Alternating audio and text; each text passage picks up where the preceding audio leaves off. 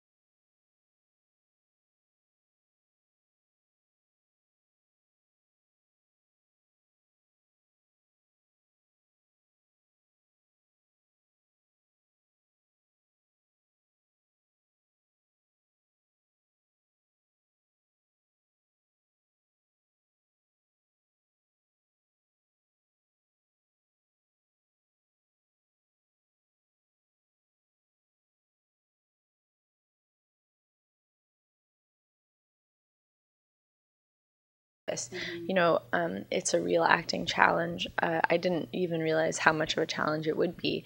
Um, but I think I similarly to what Jenee is saying, like I had a, a real sort of like instinct about it right away. I felt like I knew where it would live for me um, pretty quickly. I actually didn't get the script until the day before my audition, so it was like I read it and then and then I remember like sitting. In, I got to my audition really early, and um, and like I got there and you guys were like way, you know, it was way far away. So I put my name down on the list and I went to this health food store and got like a, a rice stream bar. and I just like sat around like saying lines to myself as I walked around the street and like ate my ice cream bar, my fake ice cream bar. Um, so that's that. It was like I was like I was in a good. Sometimes you're like in a good mood for. I was in a really good mood for that audition because I just had an ice cream. yeah, I was like really relaxed. I'd gotten there really early. You know, most of the time, like in LA, you're running from audition to audition. Anyways, and then Jenee and I sat down together, and that and that was really like enlightening for me too because in the audition room I could tell that Jenee um, really knew how to talk to actors, but I didn't know that she herself had had an acting background, and I, I did, you know learned a lot about her as a person and as a mother and where the script came from for her and um, you know as i talked to her i felt more and more connected to the material. And um, you know there's as i'm sure we'll talk about there's a kind of like um, unique tone to the film. It's almost like a fairy tale. There's a lot of tragedy in it and a lot of humor. And on you know because Jenee was a first time filmmaker, I was I didn't know yet how she was going to tackle that kind of tone, and it was such a big it's such a big project, you know, to work with d- doubling and having to it's so so crazy. But but after sitting down with Jenee, I felt like, oh, she's got this. it was a process over the few years of you know kind of gelling but um, i had written this really bad screenplay like the first act of it and i was like i have to throw this in the trash. And then but in that screenplay um, there was like this 14 year old girl who, who she was a twin and her twin had died the year before. Mm. And i had a professor at the time who was like you know even if you've written something really horrible maybe you could grab onto like the thing in it that is like the most mm. compelling to you mm. and then build a story around that. And at the time i was like oh well that's the most compelling thing to me in this crappy right. screenplay. So I gr- grabbed onto that and was like, okay, well, how am I going to make this work? And if I'm going to make this work, it needs to have it needs to be a comedy because that's sort of my sense of humor. Um, I have a dark sense of humor, and I really felt like it was such a heavy subject matter that I really wanted to um, create like a, a tone that um, wasn't, you know, that wasn't too heavy-handed. It was brilliant. What I loved about it right away, I got pulled in immediately. I mean, I just was wanted to shake Audrey and then Laurel, and I'm like, "Are you guys kidding?" Like, but you did such a brilliant job, and I could see the subtlety with the two girls. I mean, I could tell. I don't know how you pulled it off, but it was just, I went home just thinking about the story in my head all the time. So, for you as an actress, what did you come away with? I guess my last question, the final one we have, what did you come away with doing this film? What did you get out of it on a personal note?